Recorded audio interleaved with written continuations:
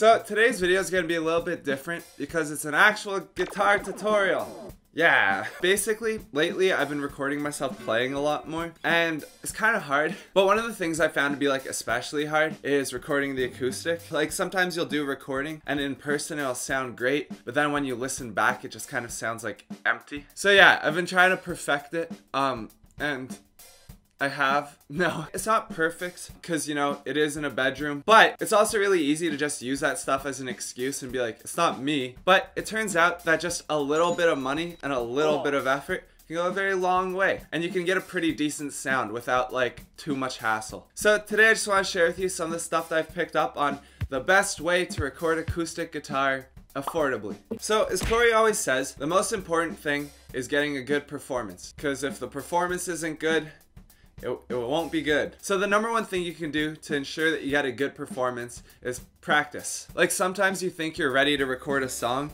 and you're not. Like you want to know the song like the back of your hand. Cause if you're still like getting through it while recording, recording is gonna be rough. But that's also hard. So a couple easier things you can do to just get a better sound right away is to change up your strings and make sure they're in tune. also, to borrow one from Santana's masterclass, it's important to be confident. Uh, that's not what he sounds like. But it's true. It also usually helps to play while sitting down because you keep a more consistent distance from the microphone. But also, people just generally play better when they're sitting. But if you feel more comfortable standing up, then you do you. Now on to the meat and potatoes, or the, the mics, the microphones. What microphone should you use? Good question. Without getting too specific, there are four options. Number one is if you're going for a really lo-fi aesthetic and like you're shooting a video, just use your camera audio. It's actually pretty big right now.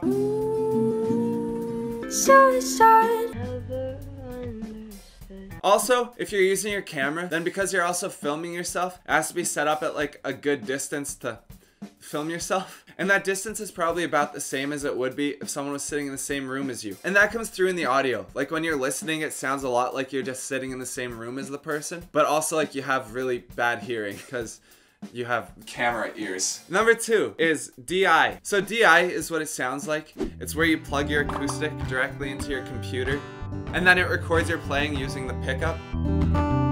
So what you need to do that is an electric acoustic, a guitar aux, and an interface. This is option three. So there are two types of microphones. You have dynamic and you have condenser. Dynamic microphones are more typically used for live performances because they capture audio from a smaller proximity. So like if you move it further away from the audio source, like it quickly becomes quieter. And because of that, it's also good for recording multiple instruments in the same room because it won't generally pick up too much of the other instruments. And another benefit of dynamic microphones is if your room's not that well treated for recording, it doesn't matter because it doesn't pick up that much room sound. But the thing is, bedrooms are pretty good for recording because they're generally pretty small and they're filled with furniture like a bed and pillows. So yeah, with all that said, if your room's treated for recording, then your best option is a condenser mic.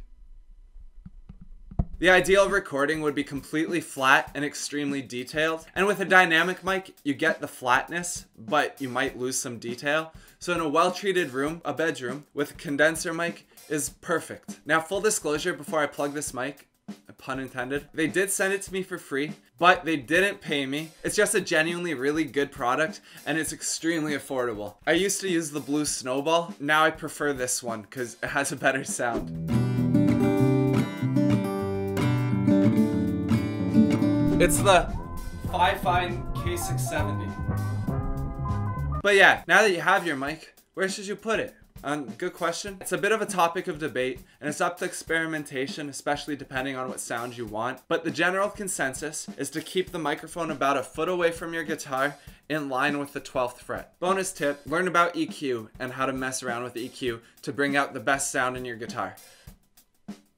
You can also use presets. And that's it. It does take a lot of experimentation to figure out how to do it right for you. Listening to someone talk about something and actually doing it are very different things. So the best thing you can really do is just get out there and try for yourself. And yeah, have fun and be yourself.